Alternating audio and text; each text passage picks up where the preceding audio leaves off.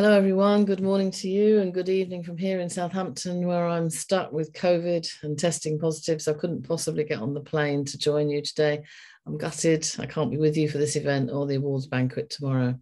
But I'm also pleased to be able to talk to you with some thoughts about uh, where we go with from here with AI to maybe kickstart the discussions. You know, I know you're going to have um, in San Francisco today. So I'm going to do what we all do on Zoom and um, share my screen and hope this works. And I called the talk from AI to eternity uh, because it had a nice ring about it. And of course, I based it on um, a uh, the film, uh, uh, uh which was um, you know very famous film from here to eternity, a bit of a turning point in film history, quite a racy film, uh, told from the point of view of the rank and file.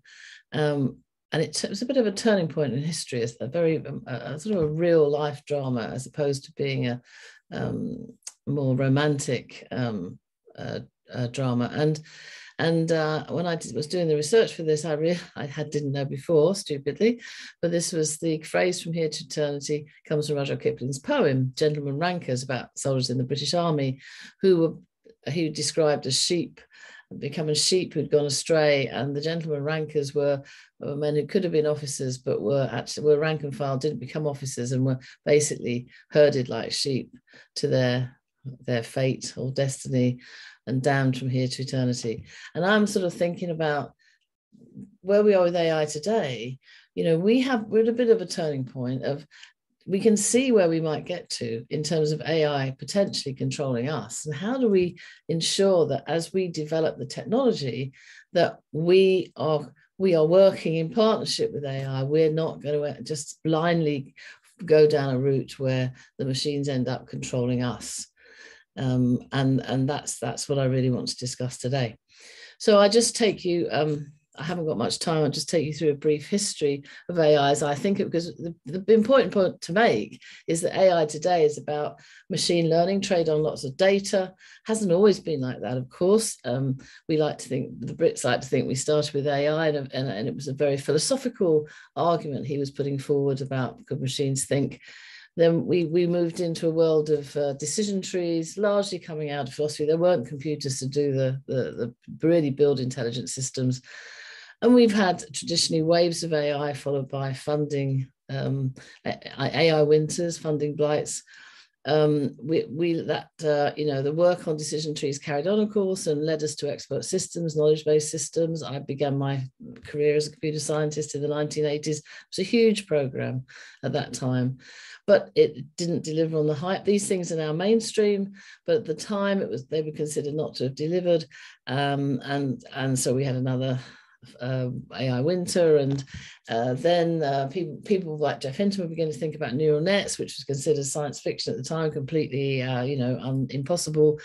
Um, and uh, but then uh, there was there was like enough conviction to say let's have a funding program.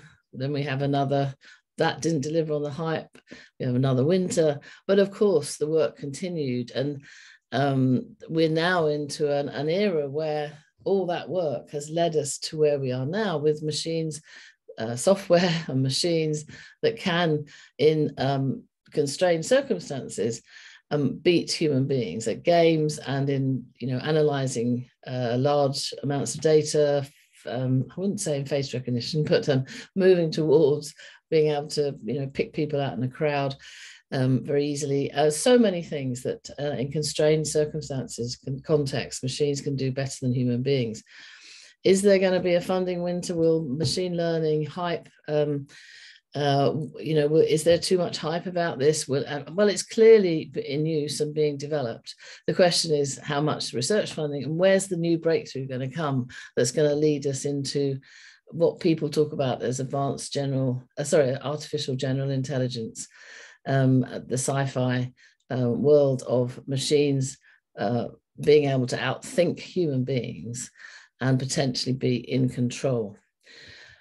Uh, why have we got all this now? Well, it's we we can do what we can do with the machine learning, um, training on large sets of data. We've got the data and we've got the compute power.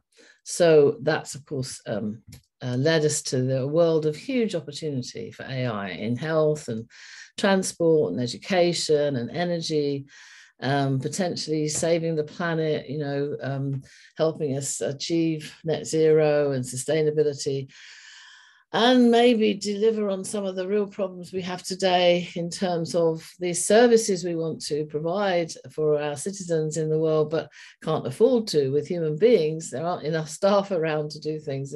So, you know, the rhetoric was about how everyone was going to lose their job to AI. I think the rhetoric today is, well, we can't find the staff, so can we have the AI to do the work instead and let the human beings do what they're good at? Um, wouldn't it be wonderful if we could make the the health, our health services so much more efficient using AI and, and leave the, the patient care to the human beings. But, but these are hard systems to turn around. There is the potential, but there's the downside too. Sorry, I've missed out a slide there. Those slides have got muddled up. Um, this is uh, so the, around um, early 2017, um, the I got a call from number 10 to, to ask me to co-chair a review of AI for the UK government with Jerome Pesenti, who was the chief executive of Benevolent AI at the time, to look at growing the artificial intelligence industry in the UK. So this was at the time when the rhetoric was about everyone losing their jobs to AI. How do we take the opportunities for AI to grow the economy and and grow new jobs to so that they could um, balance out the jobs that are going to be lost? Little did we know what was around the corner in terms of pandemics and wars in Europe and, and energy shortages and all the things that um, that we have dealt with since then. But uh, we published our review in 2017, a set of recommendations that were um, accepted by the government as part of their industrial strategy. And then it became, um, in uh, 2018, it became a sector deal, which is effectively a billion pound package um, from government and industry to invest in AI in the UK. And our key recommendations were in four areas. One was about data, how we manage data, and the establishment of data trust to encourage data sharing. Industry told us that that was one of the key things we needed to, to, to manage uh, for innovation, to allow innovation. Skills, we, we came up with, we developed programs that were funded by the government in terms of um, uh, PhDs in AI, industry funded AI, MSc scholarships.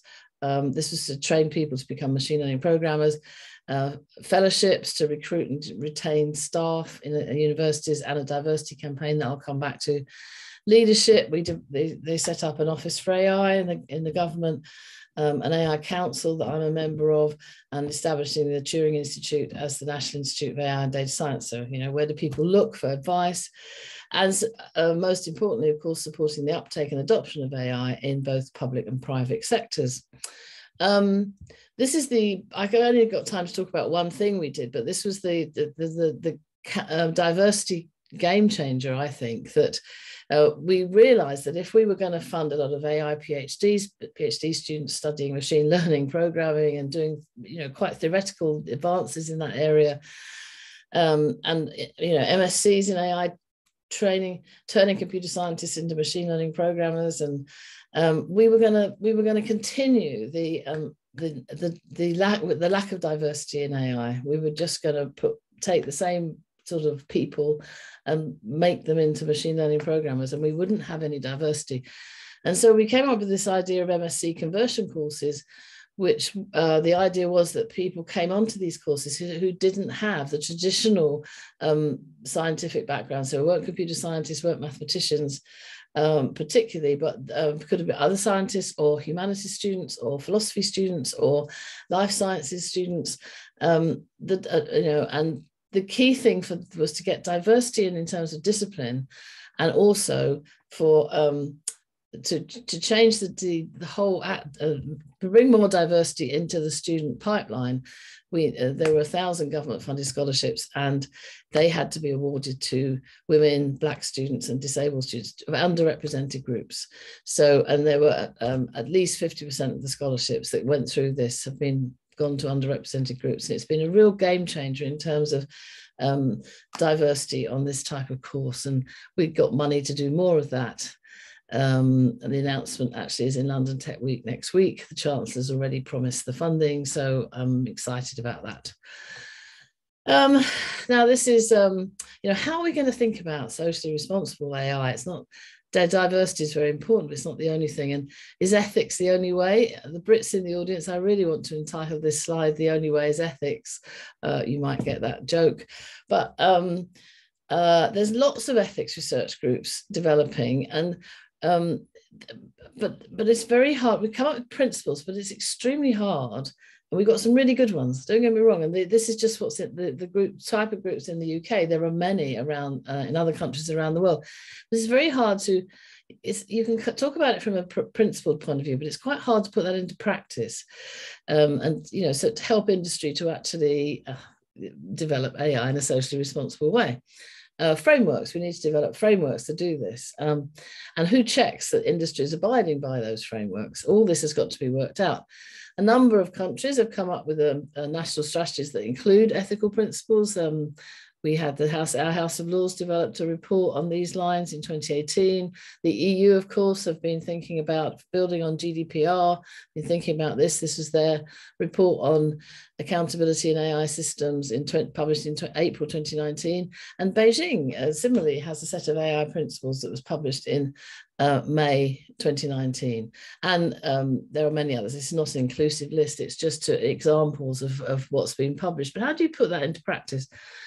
And as part of it, who who's the who who polices this area, right? Who's who decides whether something is ethical or unethical? Um, so uh, we're beginning to see AI regulation ideas come through as part of national strategies. The EU, of course, ahead of the game on its um, its uh, AI Act, um, again building on GDPR and taking a risk-based approach to um, the development of AI regulation. Um, Beijing's taking an approach about looking at um, algorithms.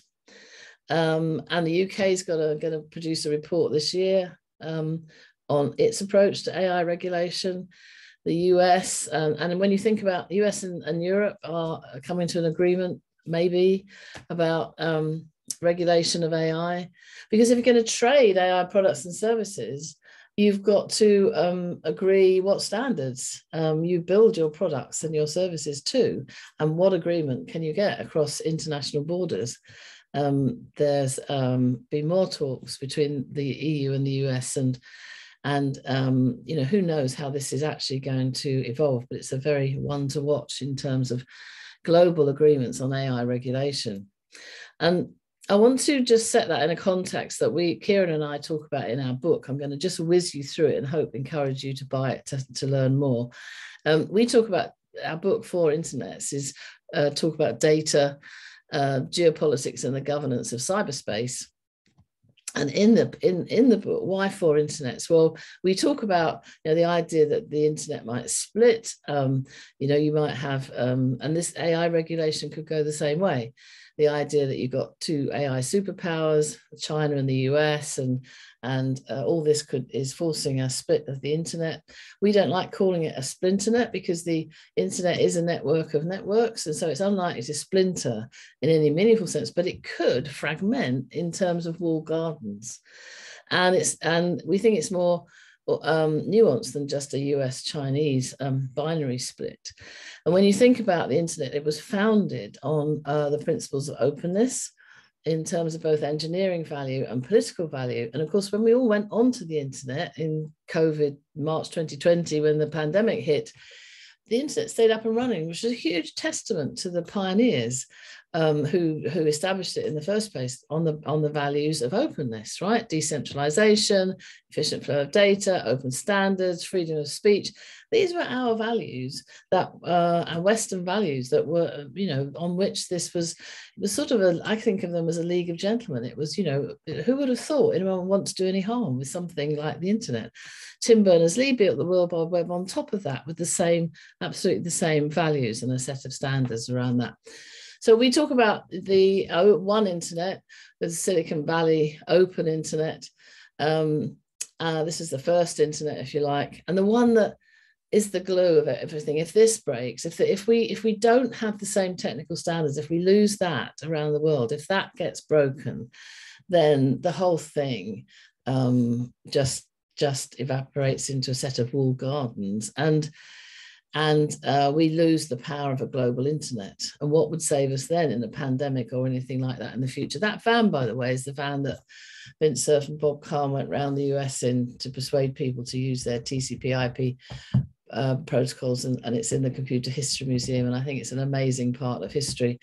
But the key thing that we have to maintain and we have to get our governments to understand is that interoperability is what makes it work. But the, you know, the the uh, the principle of innovation that the internet uses is move fast and break things, await harms, learn and revise. Can we do that with AI? Is this, you know, is this what maybe we have to be more positive? And we see some of the problems with openness. We think our values, you know, but anonymity leads to incivility. Um, uh, uninterpreted data. No one no one checking on the content leads to fake news. This is just what human beings do. Kieron this is his phrase the monoculture of white male nerds leads to diversity problems. Interoperability leads to security issues and malware. And so many you know these are the this is the yin and yang of openness right? If you want it to be open then you're going to have to work out how you deal with it when it when when it goes wrong because of human beings being what they are and so we talk about in the book four ethical responses to that open internet. If we had longer, I'd, I'd get you to try and put your hands up and say what, what these pictures represent. Here they are. So we've got the open internet, four ethical responses around the world. The, the Bus, Brussels bourgeois internet is um, privacy and human rights above everything else, GDPR, anticipate harms and neutralize. Um, fantastic in its way, but but does it allow for innovation? Um, so that's our second internet. Our third internet rolling around the world from west to east. Uh, the Beijing, you might want to call it surveillance, but we we are more generous and call it the paternal internet. Um, Beijing from the get-go understood that the internet could be used both to disseminate information uh, and to allow people to exchange information, but also to control what people are saying and understanding what they're saying. And that's been the, the, the sort of underpinning of the way the internet's developed in China. On top of that, because of the government can look, you know, they have, because what the government can do, what it can do, they've been pioneering technologies in autonomous vehicles and face recognition, which we're only too happy to adopt. But how do we set that into our into our culture? And the outreach that China has in its Belt and Road Initiative is very powerful. So that's the third internet, and the fourth internet is the one that uh, you're sitting in this uh, in this world, the DC commercial internet we call it, where Silicon, Silicon, the Silicon Valley companies uh, lobby uh, the lawmakers in Washington to get the, the rules and regulations that help the companies grow. Nothing wrong with that, but you have to understand it's a different driver. It's a very different driver to the driver in Europe or in China. And huge innovation, but within wall gardens, actually. So, something to think about as we think about how the internet might evolve. Then there's the, the spoiler model.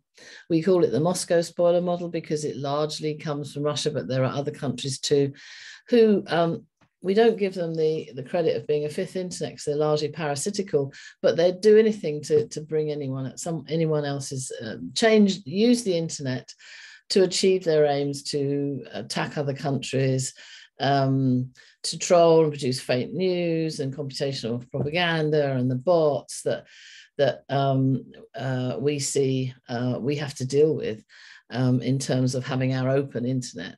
And you know, the Russians, of course, have said they're going to develop their own internet, the RuNet, but uh, which they claim to have tested successfully in 2019.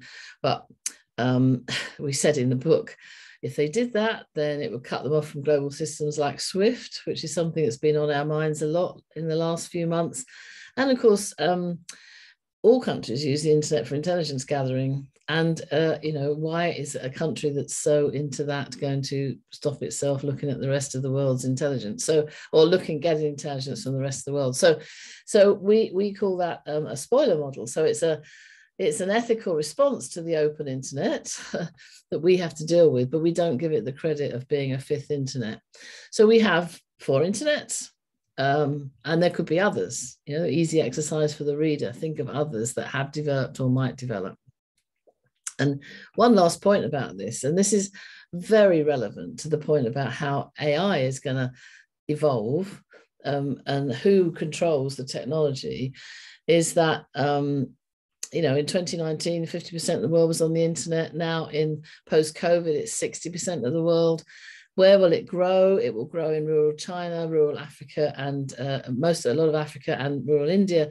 And of course, we know that the way China will approach the internet, China is largely influencing, is influencing a lot of countries in Africa uh, in terms of how they uh, use the internet. Um, and, and India is um, is a huge country in terms of numbers.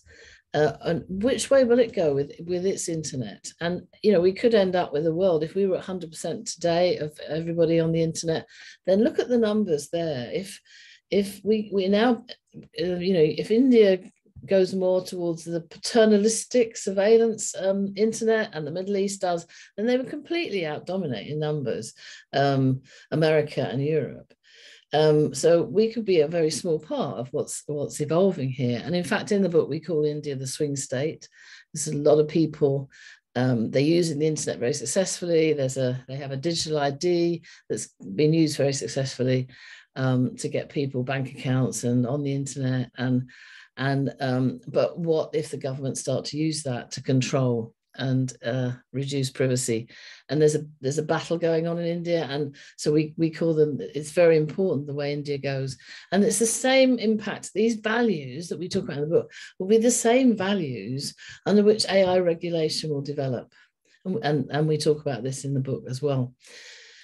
So where does the responsibility lie for socially responsible AI? I um I'm coming towards the end of the talk now, and I I couldn't leave it before um, talking about Stephen Hawking, uh, hugely respected scientist, of course, who died in 2018. And he did an interview.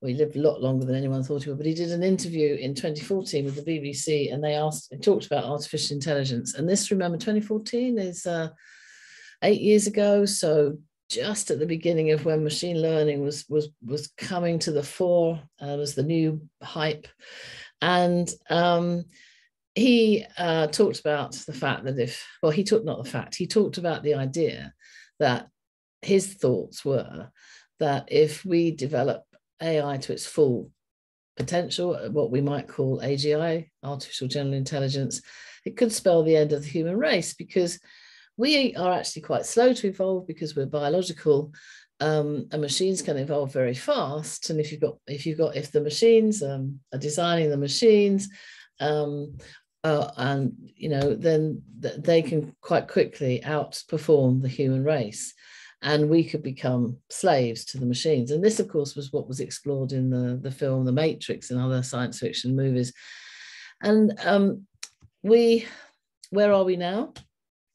With AI, uh, how are we going to how are we going to think about the future? Um, is that is the Stephen Hawking scenario the one that is we are inevitably doomed with, or can the companies that are doing this this development um, uh, help us make it the future we want? You wouldn't know it, but unless you know it. But this is the uh, website uh, front page of the website for DeepMind. I love the fact that you are supposed to, you know, you have to know that. Um, there's their logo, um, and uh, AI. They're they're saying, you know, AI could be one of humanity's most useful inventions. Of course, that's we know that, um, and they describe themselves as a team of scientists, engineers, ethicists, and more committed to solving intelligence to advance science and benefit humanity yeah, wouldn't that isn't that wonderful? And but how do we know that's what they're doing? Where's how do we how do we understand? How do we get under the bonnet with DeepMind? I mean, I I don't disbelieve them, uh, but uh, uh, who do they report to about that? And does that you know does that matter? Um, another example of something huge is GPT-3. It's come from OpenAI, similar principles, um, producing a potentially very scary um, tool that um, can fool all sorts of people into thinking this is real, but what they're reading.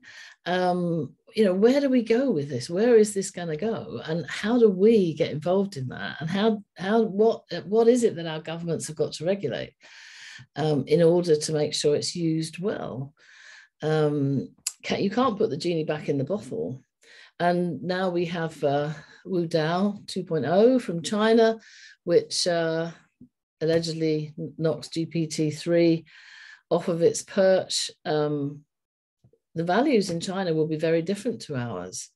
And, you know, do we buy? Are we going to buy Wu Dao 2 and allow people to use it without any thought about what that means?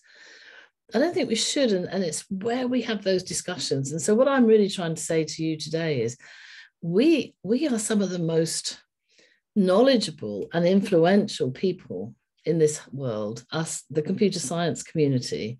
We have to play a role in this in terms of helping governments, helping companies think about the type of future we're trying to build and how we make sure that we aren't just going to be sheep being led into some awful controlled world that we have we have no power over and this is the, the sci-fi you know we, we have um, the uh, mark zuckerberg looking like mark zuckerberg trying um, his different outfits on in the metaverse.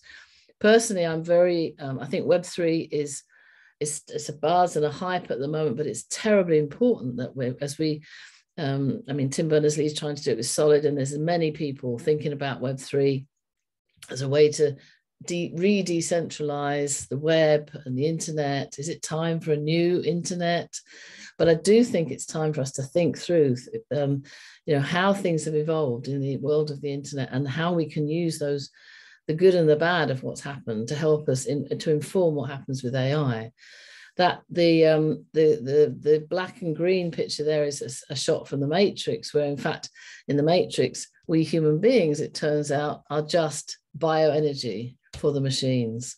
Um, you know, is that inevitable? That's the Stephen Hawking sort of argument. And then you have these hugely mixed things, these images here just taken off the, off the web of, you know, who what's the machine and what's the human being in all this all right um, uh, i think that's an inc- incredibly important to, debate to have and maybe human-centered ai is a big part of the solution uh, uh, stanford university has its great center on human-centered artificial intelligence ben Shneiderman, the famous user interface um, man, one of our community, this new book out on human centered AI. At Southampton, we've got a new center on human centered AI uh, where we're using it to we're training a cohort of PhD students in this area from our socio-technical sort of uh, background. And, and um, you know, this is going to be a very important part, but is it, is it, is it, I, th- I think it's got to be more than this. Um, this is this is a big part of it. Keep the human in the loop, but how do we do that practically?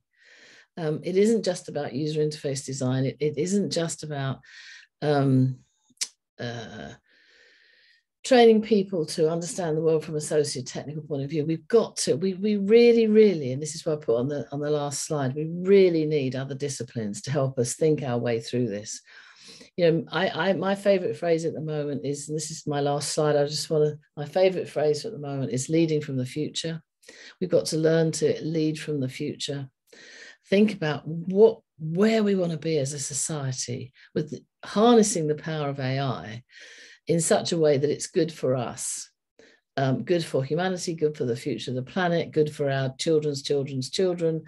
Um, uh, and maybe we should be thinking about working back from eternity to AI, right? That's how we need to think about it. My mentor, Karen Spärck Jones, had a wonderful phrase saying computing is too important to be left to men. And that wasn't to denigrate men, it was to say this is too important. This technology is too important we need a diversity of people involved in developing it for the good of the world. And I would say, along those lines, AI is too important, too important to be left to computer scientists. We really need diversity of thought. My other mantra is if it's not diverse, it's not ethical. And those two things are very tied together. And hopefully, tied together some of the thoughts that I've given you as part of this talk. We need the lawyers, the ethicists, the sociologists, the psychologists, the political scientists, the economists, the business schools, the historians, the creative arts to help us find our way. We have to embrace those. And I would really urge the ACM to think about how we can build that, that interdisciplinary community so we can be one of the, the leading lights in terms of helping the world find its way forward from um, in you know its way forward from AI where we are now to where we might be in the future. I have to finish there. Um, I've run out of time. I'm very sorry again not to be with you. Have a wonderful, wonderful day. I will listen in uh, and look forward to the discussions. And I'll be toasting tomorrow um, at the banquet, or I might be sound asleep actually, but in principle, a toast for the banquet tomorrow. Hope to see you all soon, somewhere in the world. Bye.